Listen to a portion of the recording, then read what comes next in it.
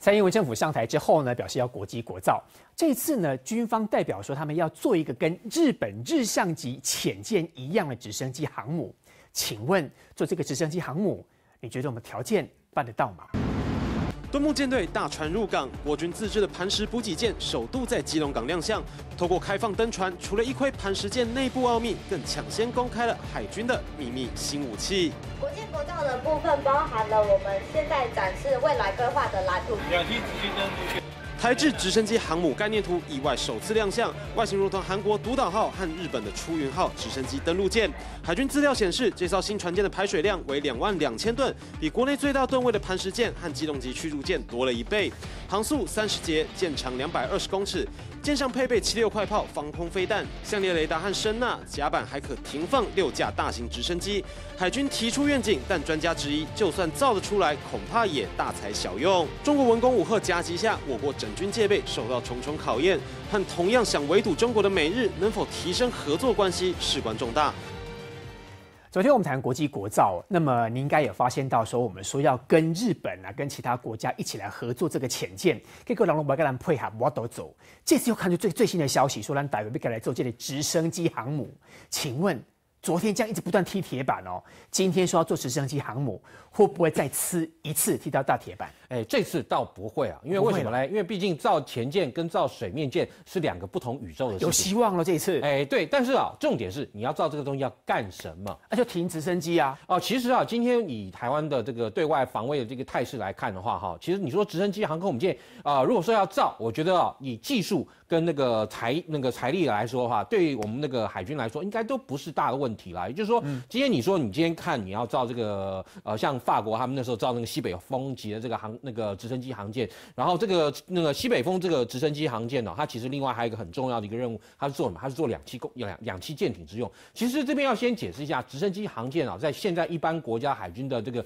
定位是什么？其实呢。主要啊，它都是作为一个两栖作作战的一个攻击舰。像我们今天以美国海军来做标的来好来讲好了，美国海军它其实目前来说，大概它大概是有两种这种可以搭载直升机的这种航空母舰，一个是胡蜂级的，胡蜂级的这个两栖攻击舰呢，其实啊呃应该是比较贴近。我们海军想要的这个直升机航舰的一个概念，就是它呢本身是具有备一个全通的飞行甲板，然后这个全通飞行甲板底下呢，它有一个那个机库，机库甲板可以把这个飞机呢放到里面去进行修理。然后啊，它另外还有好几好几层的这个车辆甲板。另外，它最重要是它船的船的尾部啊，它有一个船坞甲板。这个船坞甲板在它把这个船坞的这个呃甲板的那个门呢打开的时候，它是会沉到水里面去，它可以泛水，然后让这个里面的气垫登陆艇或者是啊那个机械登陆艇或是两栖登陆的这个战车直接就从这个船坞里面开出去。嗯那这样的话，我们看到以美军的两栖攻击舰来讲，它又有那个直升机啊，可以在那个部队高飞上去。对。然后呢，另外它甚至于还有 A V 八 B 哈，现在是未来是 F 三十五 B 的这个呃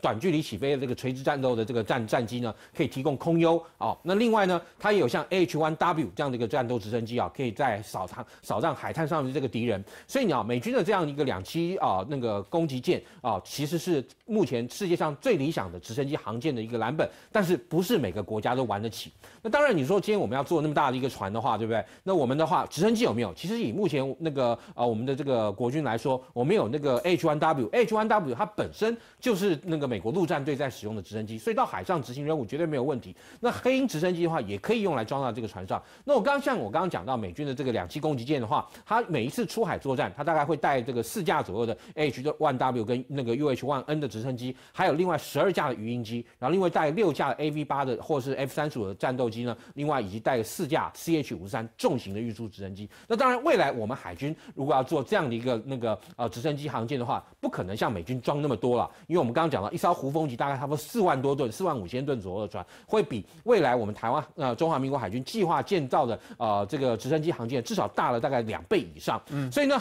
我们海军啊，他所想要这样一个直升机航舰，那未来的它的那个外形啊，比较会像这个西北风这样的。一个概念，那也就是说，它也有一个全通的那个飞行甲板，然后上面可以啊那个操作大概四架啊到六架这个直升机。另外，它其实啊海军啊也希望能够有这样一个船坞甲板，所以就是说。它跟日本的日向型日日向级的这个那个直升机航空母舰来说，会有一点小小不同。因为日本的这个直升机航空母舰日那个不管是日向或新的这个直升机航空母舰，它主要是作为日本的每一个，它日本有四大护卫群，它每一个护卫群它有一艘那个旗舰，然后这个旗舰呢就是一艘直升机航空母舰。因为日本的一个护卫群的概念是八架啊，它那个反潜直升机搭配八艘那个反那个水面作战舰艇，然后那这个八架的反潜直升机呢，要有至少一半以上可以。进驻到这个直升机航舰上，那现在的这个不管是日向级或后面的出运级，基本上都做得到，没有没有问题，因为它那个船做的非常大。那但日本的这个直升机航舰，它的这个用途其实就非常的单一，就是我们刚刚讲到，它最主要就是提供呃它的这个那个一个护卫群中的直升机，可以在那个船上进行包括维修啦，还有包括那个啊加油挂弹啦，还有包括这个作作战啊等等。所以日本的直升机航空母舰，它又能够反潜，然后又能够啊作为这个呃直升机啊发进的这个平台。对，那当然，如果以我们海军来说的话，如果我们今天我们准备了这样一个那个呃直升机航空母舰，最主要能够用到它的这个场域呢，其实就是在南中国海。因为如果说今天我们在南中国海上有太平岛，这太平岛如果有一天不管是越南也好，或菲律宾也好，啊这两个呃国家对我们的太平岛其实都已经呃打主意打很久了，那突然他们发动一个这个作战，把我们的太平岛给又抢去的话，那我们要如何去把这个太平岛夺回来呢？在这个时候，其实就是我们的直升机航空母舰可以派派上用场的地方，而且我们现在啊海军所擘画的远景里面，这样的类似像西北风劫船，就是又有能够搭载陆战队的船坞啊，还有那个包括登陆舟艇的这个船坞啊，那个船上的船坞，然后另外有个全通飞行甲板，那这个全通飞行甲板又要能够搭载这个战斗直升机，要能够搭载运输直升机，它会变成一个比较类似像一个两栖攻击啊发进的一个平台。但是呢，其实海军另外又还有这个呃想想定啊，就是说它船上还要能够装七六炮，另外还要能够装雷达，还要装防空飞弹等等。以两万多吨的这个舰体来说啊，要能够塞这么多东西进去啊，以目前来国内的这个造船能力来讲，我个人认为并不困并不困难，因为我们看到我们已经造了磐石舰，以前也有造武夷舰啊，也就是说你只要有图，基本上来讲要造这样的船并不难。但是问题就是说，你既然你造这么船，那造这样大的一个船，你要把这么多的功能都赋予在这条船上面的话，我会觉得可能会有那种就是样样通样样松的感觉。也就是说，你呢可能就变成说，呃，的确它能够搭载直升机，然后也能够进行两栖部队登陆作战，但是你这个战斗系统在船上还是占了很大的空间呢。所以就等于说，你的直升机跟你的这个战作战部队，或甚至你的两栖登陆的舟艇部队啊，可能数量都不会能够达到最理想的状态下。所以就说，你今天要能够搭配这艘船的话，还是要靠周边的呃其他的这个水面舰来为它做一个呃战斗群的一个护卫。这样的话，你才能够把这个船的那个效益发挥到最大。